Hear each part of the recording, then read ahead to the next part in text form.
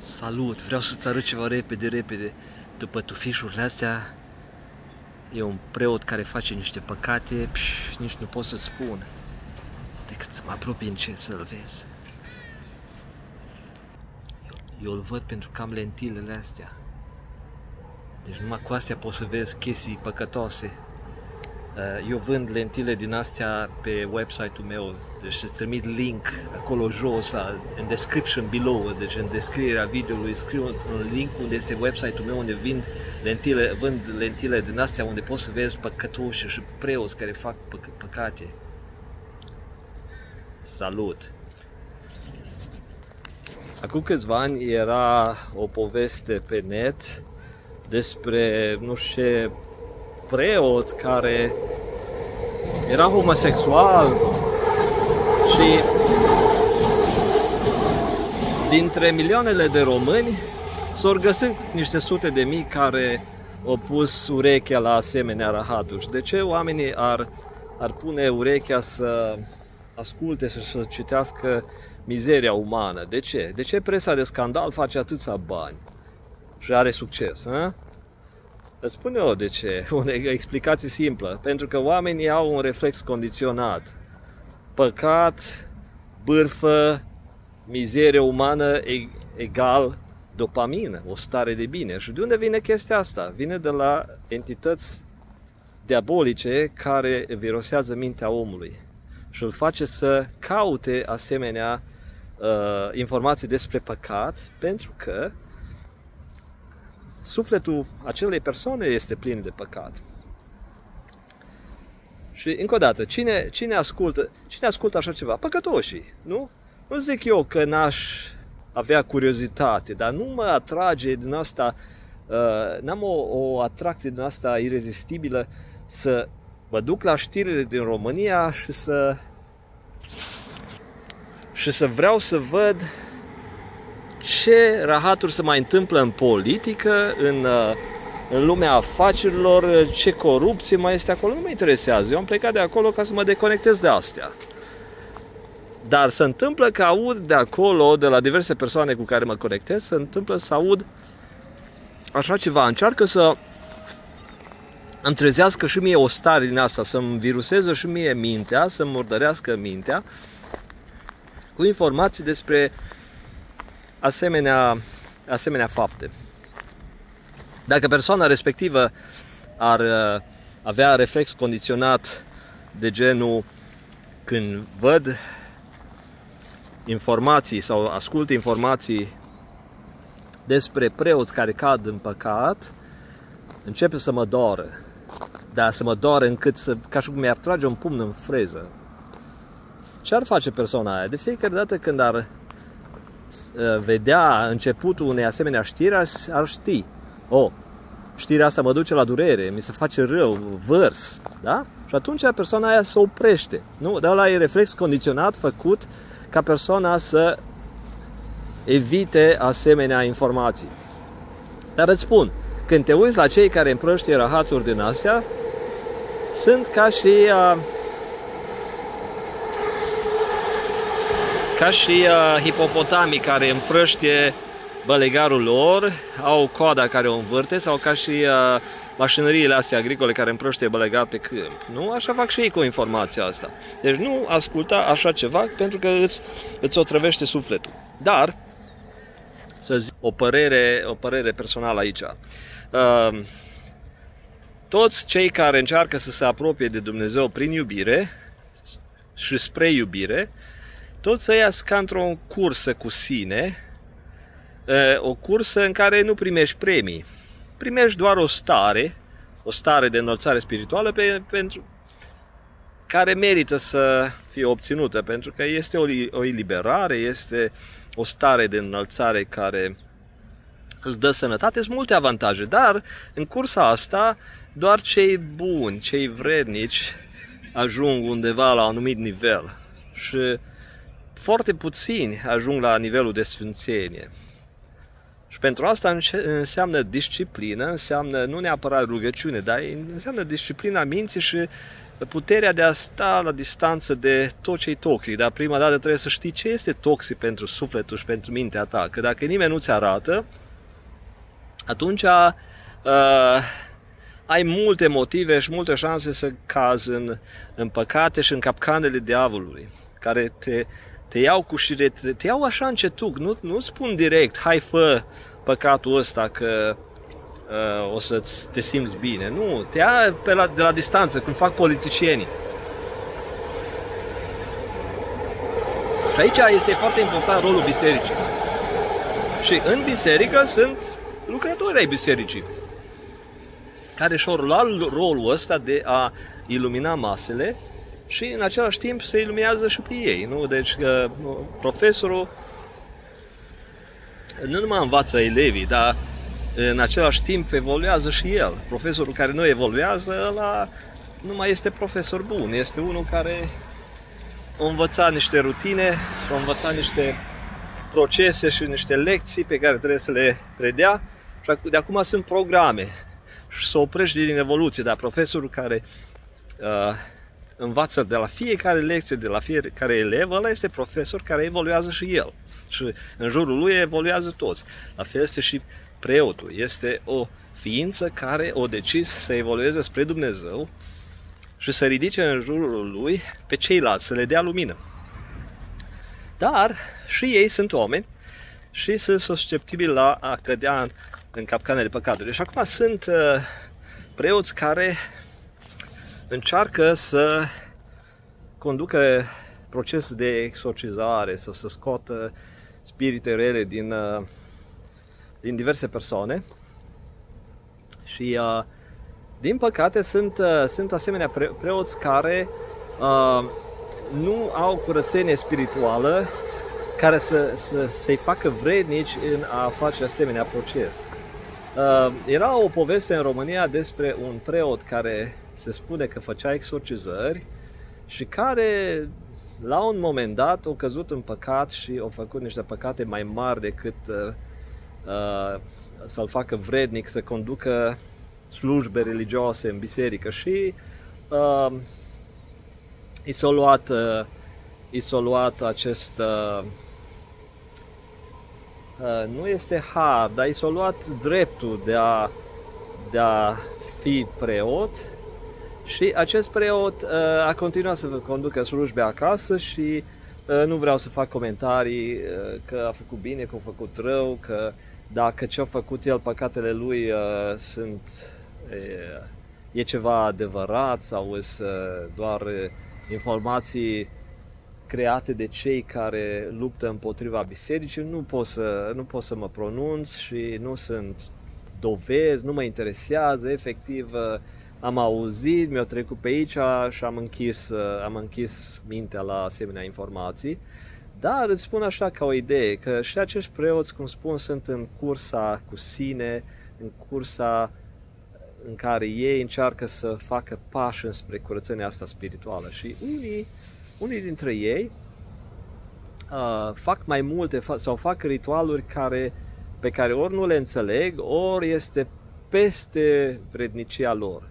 Deci sunt persoane care fac ritualuri și de distrugere și uh, acele persoane nu fac ritualuri care să facă distrugeri mari de la început. Deci o iau încetuc. Deci la început fac un ritual ca să, eu știu, să jupă piciorul vecina, uh, face ritual ca să se divorțeze cu tare. Deci astea sunt chestii mici care, uh, pe care le practică unii, dar sunt alții care fac ritualuri Uh, pentru că ei deja la întunecimea lor și la puterile lor uh, au capacitate să facă ritualuri care atrag entități foarte grele, foarte, foarte puternice și care pot să facă uh, schimbări foarte mari. Eu știu să distrugă o companie întreagă, să înceapă să pună conducători de state să se bată între ei, ca să ducă țara la război. Deci chestii de astea sunt atacuri spirituale care se pot face uh, datorită unor, uh, așa zici, vrăjitori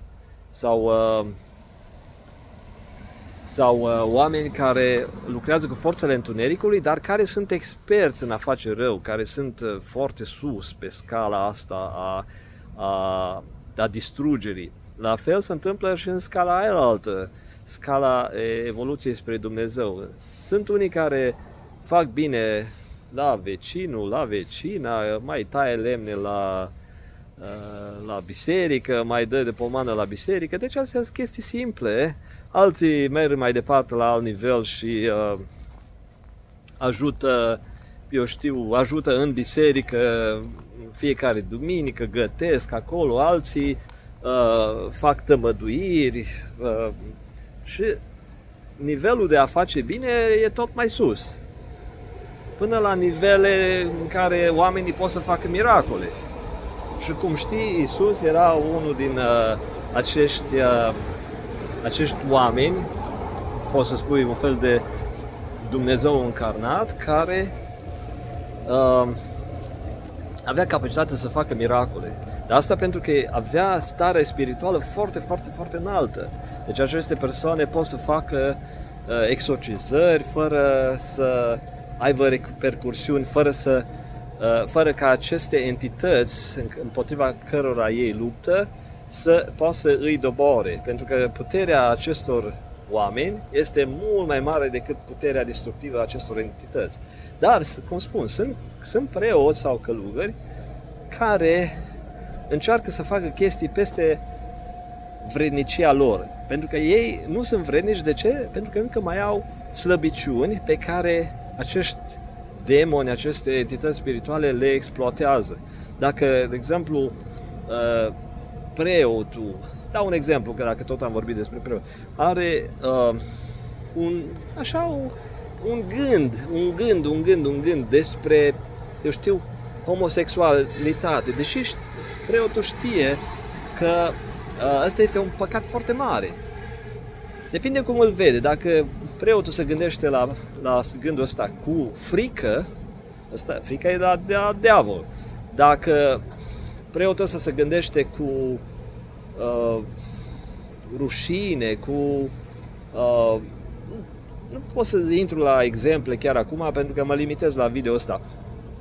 Dar depinde de gândurile care le asociază cu acest gând despre, cum am spus, despre homosexualitate.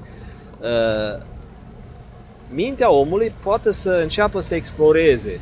Dacă îi dai minții umane uh, ceva, sămânță să gândească, într-o, după o vreme, acest gând al homosexualitate uh, poate să înflorească, poate să, să se amplifice și poate să, fină, să devină un gând care poate să ia mintea omului. Da, am dat un exemplu. Mintea omului poate să, să fugă pe căi unde uh, care este dusă de către diverse spirite diabolice sau pur și simplu mintea intră uh, sau creierul uman ca și intelect intră în procese automate și este ca și cum noi în, derulăm un program pe care nu putem să-l oprim.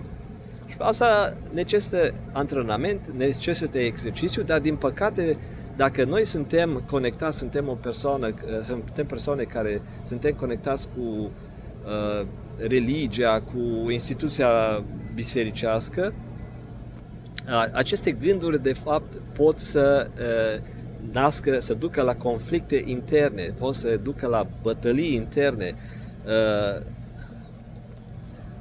pot să fie gândurile noastre de dragoste și de dedicație la Dumnezeu și pot să fie gândurile noastre uh, care ne dau diverse dorințe, ne, ne dau diverse idei care pot să fie ideile noastre pe care le-am injectat sau pot să fie ideile care se potrivesc cu genetica noastră. De exemplu, pot să fie o persoană care să aibă genetica făcută în așa fel încât uh, gândurile acestei persoane să fie controlate ușor de către compoziția biochimică a corpului. Deci sunt, sunt bărbați care au uh, compoziție biochimică în, uh, în așa fel încât ei pot să simtă o mică atracție față de alți bărbați. Asta e natura acestor bărbați. De-aia foarte mulți uh, în țările astea mai libertine, foarte mulți bărbați cad în homosexualitate pentru că ei au această combinație biochimică hormonală care îi face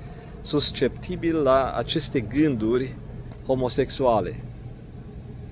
cum spun, sunt uh, chestii care sunt influențate de, sau gânduri care sunt influențate de trup și sunt uh, gânduri care sunt influențate de intelect, sunt gânduri influențate de uh, locul de muncă, de prieteni, de, de spirite diabolice, să spirite uh, constructive ale, ale, ale lui Dumnezeu.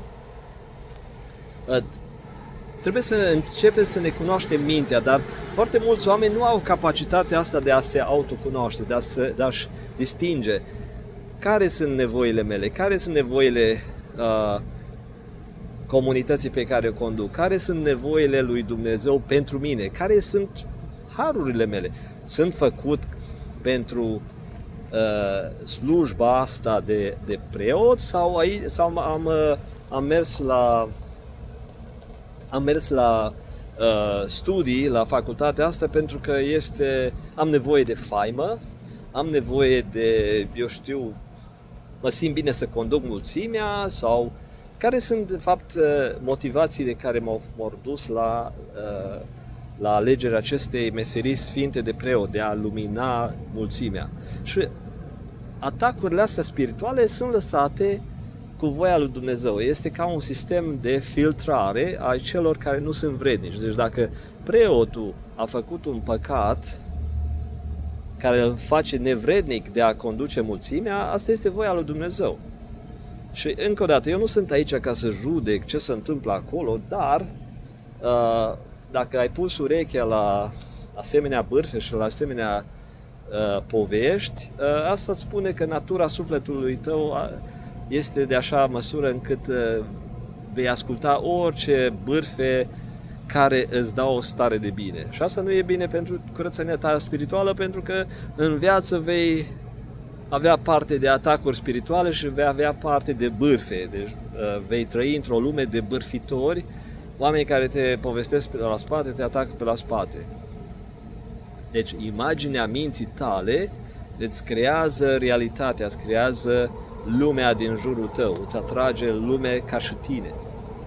Dar totuși, ca să închei subiectul ăsta, acești preoți, dacă într-adevăr au făcut aceste păcate, ă, asta este cu voia lui Dumnezeu. Ei nu sunt vrednici pentru uh, ori pentru meseria asta, pentru slujba asta care i-au ales-o, ori au încercat să facă ceva, dar ei încă nu sunt curați la suflet. Și vreau să spun că sunt preoți care postează chestii pe internet, am vizionat uh, un număr de preoți și am simțit că ei încă mai au de lucrat cu sine. Unul din preoți care are uh, e foarte popular, uh, are mult de lucru cu ego cu mândria, pentru că având popularitate, uh, cumva a orbit, a, nu își vede, nu își vede, uh, cum să spun eu, da, această, această popularitate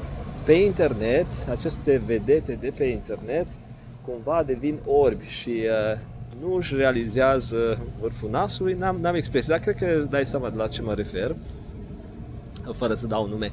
Uh, da, e, umilitatea este o, o calitate pe care mulți preoți o au. Uh, eu am vorbit cu câțiva preoți, pur și simplu o trebuie să trec prin uh, conversațiile astea și mi-am dat seama că sunt oameni, nu numai cu sufletul mare, dar sunt oameni care uh, te pun pe tine înaintea lor. Adică ei nu sunt acolo ca să arate că ei sunt mai buni ca tine, ei vor să-ți arate că ei au capacitatea să fie umili ca să te inspire, ca și tu să fii umil, să nu mergi acolo cu, cu buricul mare, să arăți că tu ești mare, tare, ai companie, ai bani și tu uh, ești cineva în sat sau cineva în oraș și uh, nu, nu, deci uh, atitudinea preotului uh, este în așa fel încât să te inspire să,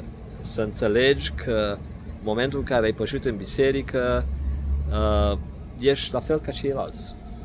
Din punct de vedere al sufletului, din punct de vedere al uh, trupului și al uh, intelectului, poate ești mai presus ca alții, pentru că în uh, viața ta temporară pe pământ, ai făcut diverse eforturi ca să evoluezi, eu știu, din punct de vedere material și financiar. Dar din punct de vedere al sufletului, toți avem bube când intrăm în biserică și de asta și mergem acolo la spitalul la spiritual. Și preotul încearcă să ia rolul de doctor spiritual al sufletului, dar din păcate unii, unii încearcă operații sau uh, proceduri care sunt peste măsura lor sau alții nu sunt, pur și simplu nu sunt doctori buni de suflete și uh, filtrul lui Dumnezeu care lucrează prin intermediul acestor demoni și entități spirituale, lucrează foarte bine și în cazul preoților. Deci ei nu sunt protejați când e vorba de asemenea păcate mari. Deci, încă o dată, nu pune urechea la așa ceva, la, la bârfe despre păcatele preoților. Nu e bine pentru tine.